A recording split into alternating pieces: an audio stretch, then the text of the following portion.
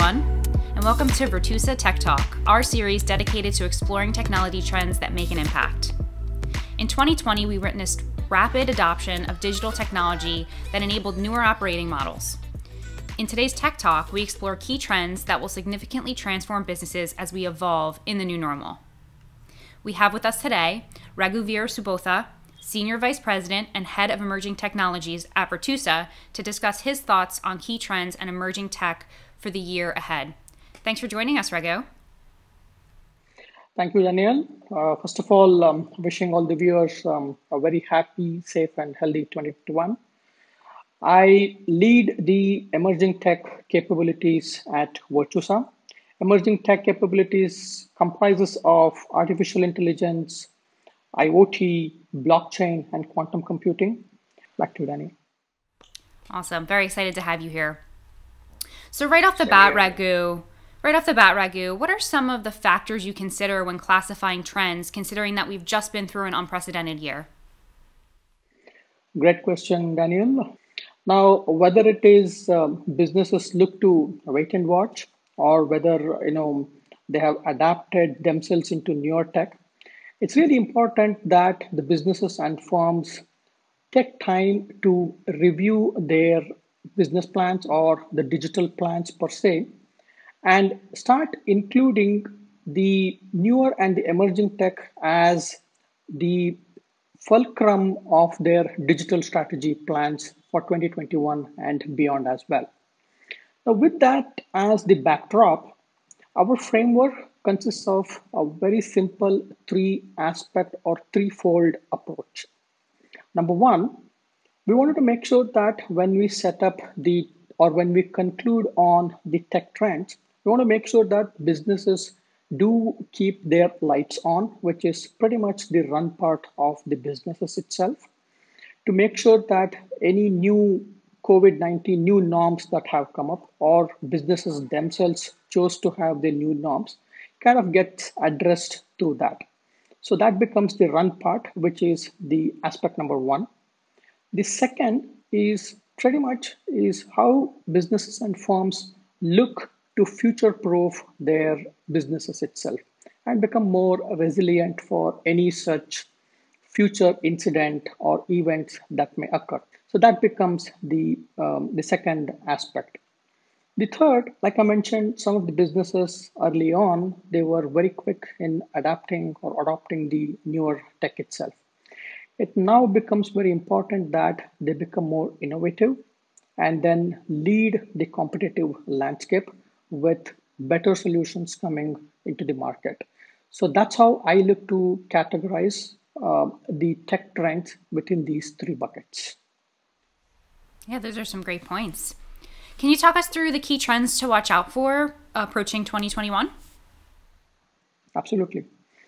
Straight off the bat, I would say artificial intelligence. Uh, while you know we have seen growing adoption of artificial intelligence um, uh, in 2020, uh, you know we have seen number of use cases specifically from banking and financial sectors. You know there were greater push for adopting such a new technology as well. And what we continue to see throughout 2021 and beyond is the following three aspects within artificial intelligence, in the field of artificial intelligence itself. Number one, explainability becomes very, very important in a pragmatic AI implementation.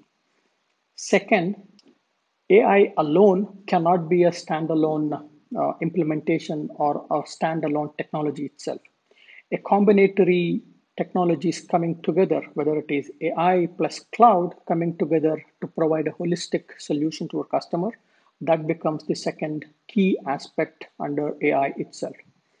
The third, we will continue to see the AI implementation become part of the mainstream application development itself. Many different product companies, service providers, they have their own variants of how they want to bring uh, AI as a mainstream application development, but that's certainly a trend to watch out for. So that's number one, the AI and the rising demand for AI itself. That's the tech trend number one. Number two is I, I choose to call this as an empowered edge. which means you know in 2020 you know we saw a little bit of edge computing towards the end of 2020 you know we saw uh, edge computing becoming more prominent that is because also that going forward into 2020 and 2021 and beyond the the devices and the edge nodes itself they tend to pack themselves with more compute capabilities which means to say that a lot of decisioning and intelligence can be put onto the edge itself. With that, we'll continue to see many data centers coming out with a distributed cloud fashion. And we continue to see the uh, empowered edge concept really take off over the next uh, two to three years as well. That's the empowered edge is the tech trend uh, number two. Number three, 5G. You know, though in 2020 we consistently heard about 5G rollout. You know, we have seen many different carriers really start rolling out 5G services. But in our view, we need to look at 5G as more of a fulcrum of binding together multiple technologies to give what is called as a connected experience. Rather than looking at 5G as a single tower technology stack, which will uh, power, the bandwidth, and the speed parts of it. Of course, it does, but then leveraging these, providing a connected, well connected experience becomes the key trend number three. Number four is the era of um, low code, no code um, application or solution development. There are plenty of low code, no code um, providers in the market. What we also saw in the beginning of COVID is that businesses and firms really started scrambling for skills, talent, platforms, everything to put together as quickly as possible, roll out a solution, and so forth. And then by the emergence of low code, no code platforms, we will see that the businesses tend to kind of use these low code, no code to carve out their own business applications. And these are typically developed out of the line of businesses themselves. While that we see on the businesses part, there is enough and more play on the service providers and system integrators as well to take up the task of low code, no code in their own engineering differentiation pitches that they take to their customers or use low code, no code platforms as um, you know adopting or driving mainstream adoption of uh, emerging tech uh, capabilities itself. So those were some of the four or five um, uh, trends, uh, Daniel. The rising demand for AI services, empowered edge, 5G, and um, the low-code, no-code um, development. And what about blockchain, automation, and cybersecurity? Do you feel that they'll go even more mainstream in the coming year? Fantastic. Very good question, uh, Daniel. Um, if I were to start talking about cybersecurity to begin with, it will continue to be the driver in 2021 itself, primarily because what we have seen, uh, cybersecurity is an aspect of putting together a lot of governance and policies around it.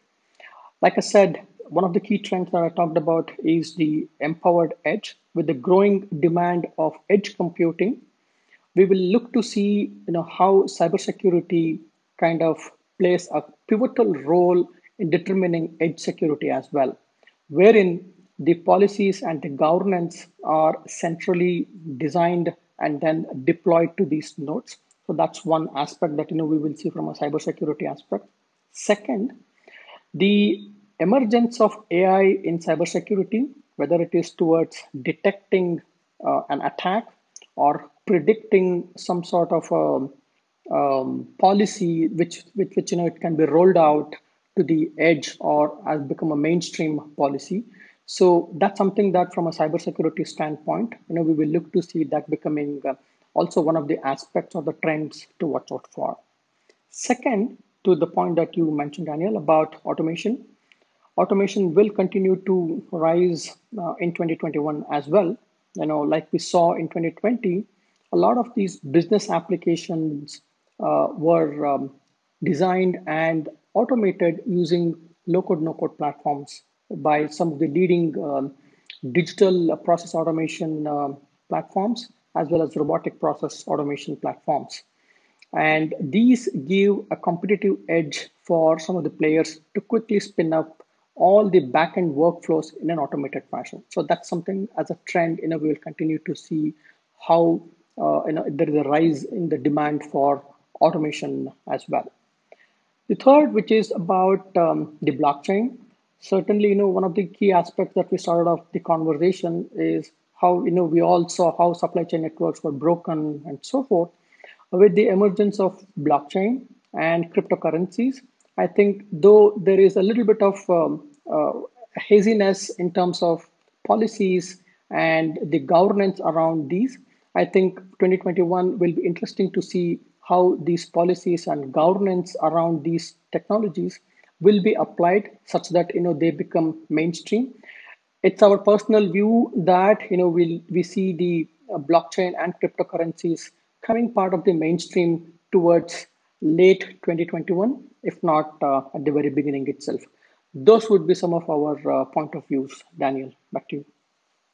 So our top trends to look out for are ai edge 5g low code no code blockchain cybersecurity and automation It'll be interesting to see how businesses will leverage these trends as part of their digital transformation journey. So, thank you, Raghu, uh, for your insightful commentary and for your time today. And we really look forward to having you on our Tech Talk again. Thank you, Daniel. Wonderful being here.